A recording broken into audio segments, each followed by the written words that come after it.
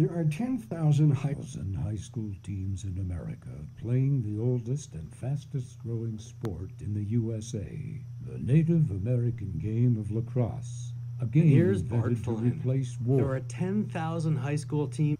high school teams in America playing the oldest and fastest growing sport in the USA, the Native American game of lacrosse. A game invented to replace war, a game known as Little War in the Mohawk language, inspiring the movie's title of Sport of War.